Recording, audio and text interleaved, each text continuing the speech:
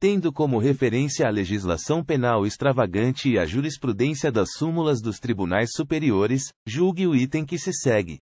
A condenação pela prática de crime de tortura acarretará a perda do cargo, função ou emprego público e a interdição para o seu exercício por prazo igual ao da pena aplicada.